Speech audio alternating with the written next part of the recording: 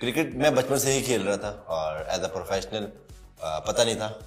दोस्तों, पाकिस्तान के तेज गेंदबाज हैरिस रॉफ की सोशल मीडिया पर यहाँ पर लड़े और झगड़े की वीडियो काफ़ी अधिक वायरल हो रही है और उस वीडियो के लगातार वायरल होने के बाद अब हैरिस रॉफ ने यहाँ पर पहली बार अपनी तरफ़ से स्टेटमेंट दिया जहाँ पर हैरिस रॉफ ने ये कहा है कि वो पाकिस्तानी फैंस ही थे जिन्होंने उनके साथ लड़ाई झगड़ा करा था, हाथापाई करी थी, जहाँ पर हैरिस रॉफ ने यह कहा है कि वो फैंस अगर उनकी क्रिकेट को क्रिटिसाइज करते, उनको उनके फॉर्म को क्रिटिसाइज करते तो उनको कोई भी प्रॉब्लम नहीं थी, लेकिन उन लोगों ने यहाँ पर शराब पीकर इनकी फैमिली को और इनकी वाइफ को टारगेट किया था यहाँ पर हैरिस रॉफ का ये कहना है कि वो फैंस जो जा रहे थे, वो शराब पिए हुए थे। इसके साथ ही उन्होंने इनकी इनकी वाइफ को यहाँ पर रेप तक का यहाँ पर थ्रेट दे दिया था और फैमिली को यहाँ पर डेथ थ्रेट तक दे दिया था। इस वजह से ये गुस्सा हो गए थे। इन्होंने इन्होंने कहा है कि ये प्रोफेशनल क्रिकेटर है। इस प्रकार की हरकतें ये बिल्कुल भी नहीं करना चाहते, लेकिन फैमिली को जब थ्रेट दिए जाते हैं तो इनको आगे आना पड़ता है। तो इस प्रकार से इनका स्टेटमेंट है। वैसे आप कमेंट करके बताइए, आपका यहाँ पर क्या मानना है? आप अपनी राय नीचे कमेंट ज़रूर करें।